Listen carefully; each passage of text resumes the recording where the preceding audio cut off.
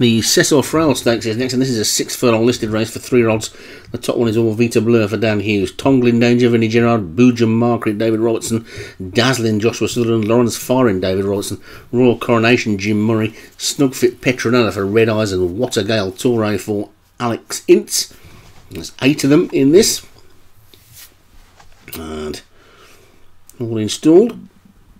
And away they go then. And He's going to be the first one to show. It looks like Snugfit, Petronella and Orvita Blur are going to be keen to go on. So too is Dazzling, and it's Dazzling the black and red that's going to be the early leader. I think the two greys, though, have got different ideas about that, and Orvita Blur and Watergale Toure are disputing it. Also, just behind them, Royal Coronation in the Jim Murray colours. Then wide on the track, Snugfit, Petronella, the two David Robertson horses are taken off their feet, and Tongling Danger's also at the back as well. But it's Dazzling who's in the lead from Orvita Blur and Watergale Toure. Then comes Royal Coronation back in fourth. These four are well clear of the remainder and they're already down past the three furlong pole then with dazzling a length of the good from Watergale Toure in second and then all Vita Blur in the blue jacket on the near side. The Jim Murray horse is really running on well there. Royal Coronation or two coming from the back as well but it's still dazzling inside the two.